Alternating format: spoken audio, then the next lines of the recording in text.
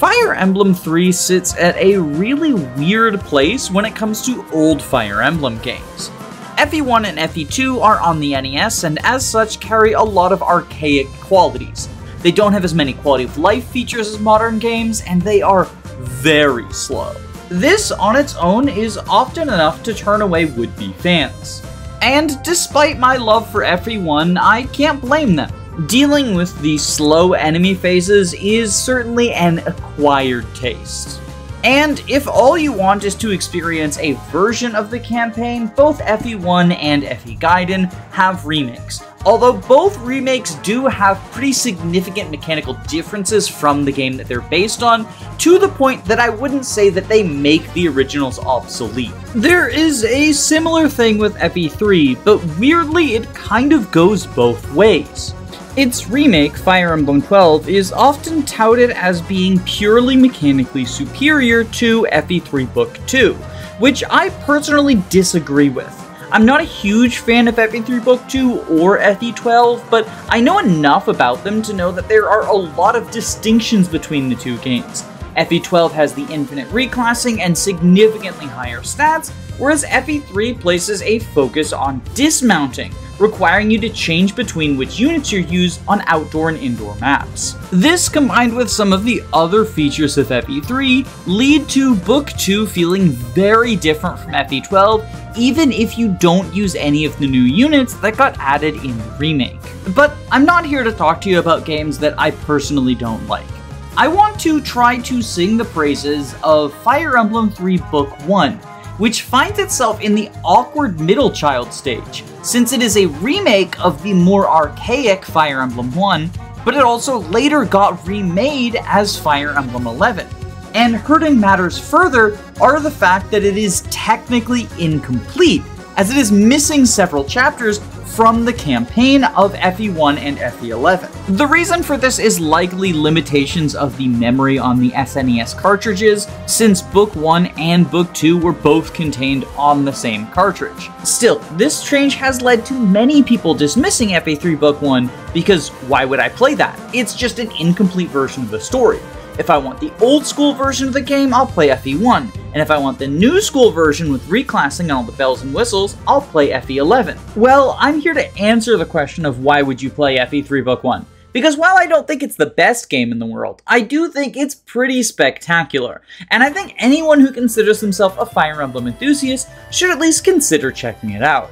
First off, I want to address anyone who hasn't played any of the old school games because they are worried that they will be clunky and unintuitive, like FE1 on the NSO. While FE3 is definitely less smooth to play than some modern Fire Emblem entries, I'd say it is a significant step up from both of the NES titles including basic quality of life like range checking, battle forecasts, being able to check item and weapon stats, and weirdly, even some QOL that isn't present in any other game, including modern ones.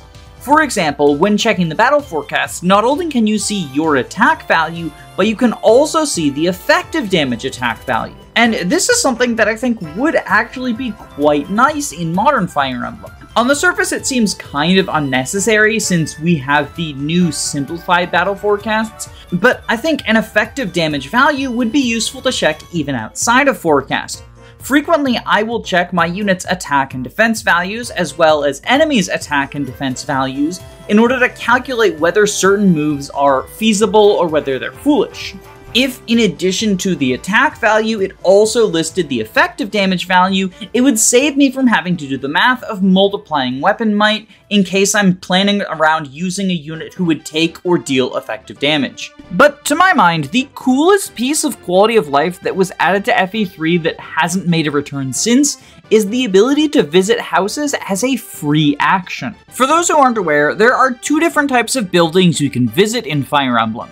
There are houses, which just give you dialogue that gives you some sort of story flavor or a gameplay hint, and then there are villages that give you concrete rewards such as items or recruitable characters. However, because in most Fire Emblem games, visiting either of these consumes your entire turn, frequently players miss out on pieces of flavor simply due to the fact that they don't want to waste their action economy visiting houses. In FE3, you can visit a house and continue to take other actions, such as using healing stabs or attacking enemies, thus making it similar to the trade action, since it doesn't consume your entire turn.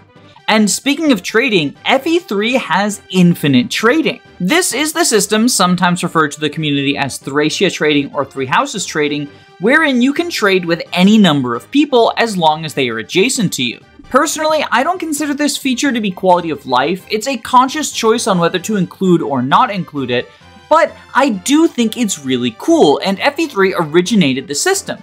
Now, trading is a little bit clunky in the FE3 menus, I'll give it that, but this was their first try at any sort of trade system, so it was always going to feel a little bit rusty. It's still a pretty significant upgrade over the gift item system from the NES. Hopefully, I've convinced you that FE3 has enough quality of life not to feel difficult to play, but the question is still worth asking.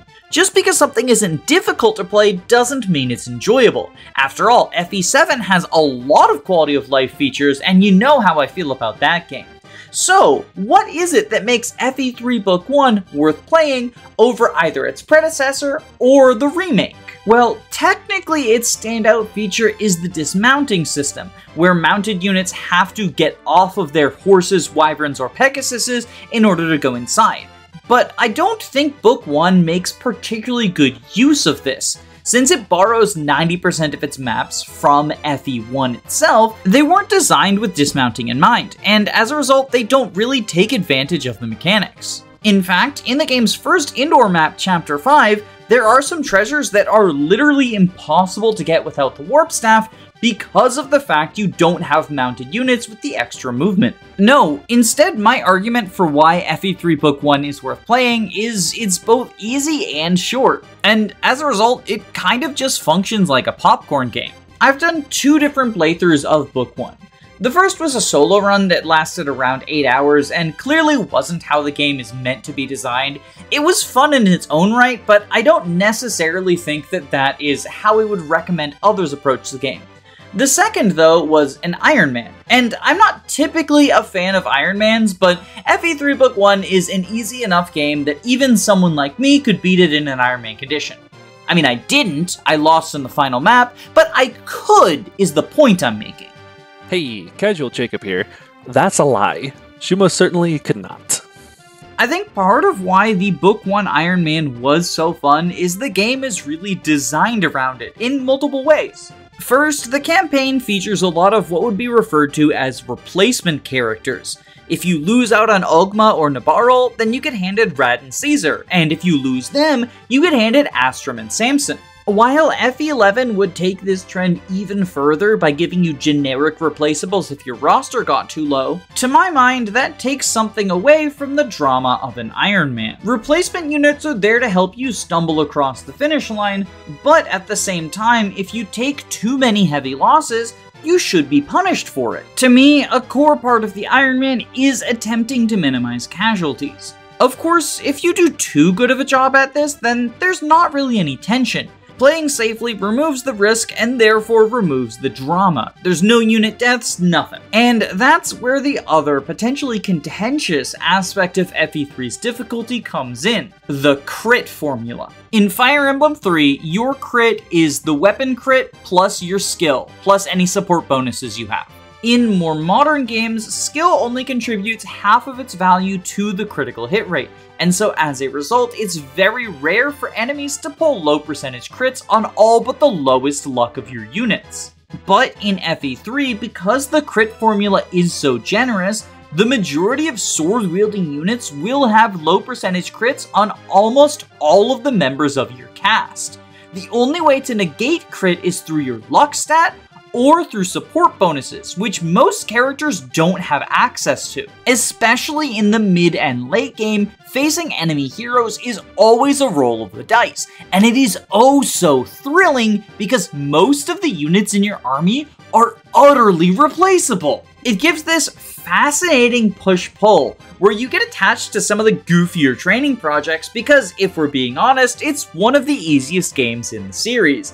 But If you end up playing sloppy or just get unlucky with some crit rolls, then they can die and you have to pick up a new training project. But it's also not that hard to train up the training projects because again, easy game. Don't get me wrong, there are a couple of late game difficulty spikes, but Marth is pretty definitively the best unit in the game, so as long as you've got him alive, you've got a fighting chance. Marth dies to Medius? Yeah, he's a dodge tank, though. He's a dodge tank. Never mind. Never mind. Lord Marth, you died so tragically.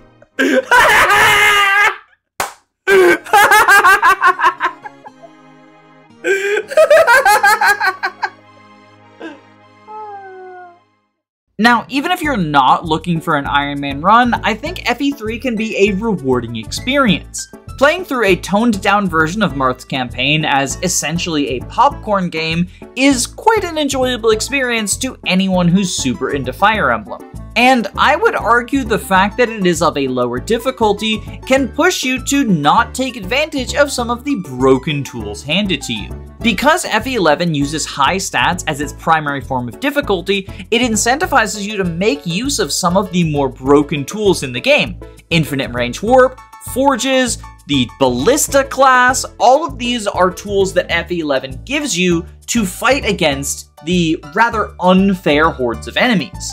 And you kind of need to use these unfair tools to fight against the unfair enemies. Yes, I know it is possible to beat the game on Hard 5 Forgeless or Warpless or Ballista-less or all three, but if we're being realistic, that is probably a less fun experience. On the other hand, in my Iron Man of FE3, I banned the Warp Staff. Because Book 1's primary form of difficulty is specific strong enemies, as opposed to every enemy being strong, as well as the low percentage crit chance, it was much more feasible to come up with strategies that don't involve using my channel icon's starting inventory.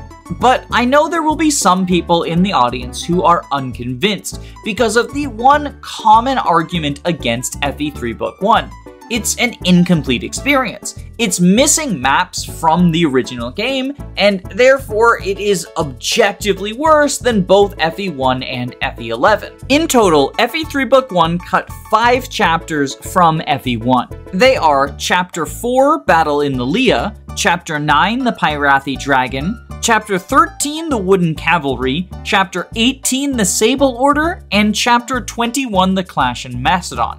Additionally, Chapter 23, The Dark Pontifex, has been completely remade as its own original map. These five maps are kind of the definition of filler. Battle in the Lea is just a wide open field that doesn't really have any story or gameplay significance. You cross a river, seize a castle, bada bing, bada boom. The Pyrathi Dragon is a map that I personally really like, but story-wise, it doesn't really fulfill anything. From a gameplay perspective, it is interesting to split your forces, but I don't think you miss out on too much by skipping it. The Wooden Cavalry is probably the worst map in both FE11 and FE1, and honestly, I'm glad they cut it. Running down a hallway of ballistas isn't fun in Shadow Dragon, and in FE1, it's just a bunch of armored archers. Not very interesting either. The Sable Order is literally just a bridge that you charge down and fight cavalry. Again, not an interesting map. And Clash in Macedon is a wide open field that you fight a couple of wyverns and paladins on. Again, it's not an interesting map, and the fact that it comes so late in the game makes it feel extra egregious. Personally, I think the end game of Fire Emblem should be a constant escalation. We just finished fighting Camus, and then we have boring ass map before we have Clash and Macedon. Overall, I do not think that the missing maps are a downside. There's only one that I actively missed during my playthrough, and there were two that I was glad to not engage with. There are also several characters who get cut out, but they are similarly unimpactful. Wrys is an early game healer, but he's replaced with a vulnerary that does basically the same thing. Darros and Roger are fun meme characters, but ultimately I don't think they're a huge deal for the meta. And Jake and Beck are incredible in Shadow Dragon, but terrible in FE1, and kind of unnecessary with the difficulty that we have in FE3. Oh yeah, Gotoh also isn't in this game, but FE1 Gotoh is pretty trash, so he's kind of forgettable. I don't really care that he's missing either. From a certain perspective, I can understand why people harp on the missing content of FE3 Book 1 as a negative. Anytime that you are missing something, it feels like it's been taken away from you, especially in a remake. But I understand the reason that they've removed it from a technical perspective, and from a gameplay perspective, I don't actually miss the boring filler chapters or the boring filler characters. And look, if you have posters of Darros all over the walls of your bedroom, and as a result, you refuse to engage with FE3 Book 1 on a moral stance, then that's your choice. You know, have fun with your husbando. But if the reason you were avoiding FE3 Book 1 was because there was missing content and you thought that would make it worse, I hope that this counter argument at least makes some amount of sense, and maybe it's enough to convince you to try the game out? It's probably my favorite version of Marth's first outing. But you know who else are probably my favorites? My patrons! So, thank you to Michael Krause, Len, Gameboo, Carosa, Fyrant, Smaz Ruby, Saxon, Reflect, Marin McLean, Calamity Callie, Queen Eliza, Adele, They Thom, Andu, Jamie Collins, Mean Jojo, Thick Molder, Daniel Kalaskis, Arvis, Bell Wenska, Die Joss Jingle, Tailored Muffin, George Granville the 7th PM, SUP, Caius Cole, Gabe the Green, Control Tejas, Joanna the Wrenchwitch, Ginger, and especially my Jagens, Autumn Kelsey, and Julia Kyoto. If you are interested in supporting the channel, there is a link below to my Patreon, but please only donate if you can comfortably afford to do so. I don't want anyone going broke over Fire Emblem content. Free ways to support the channel are liking, subscribing, commenting, all the YouTube stuff. But regardless of what you choose to do, I hope you have a wonderful day. Stay safe, gamers.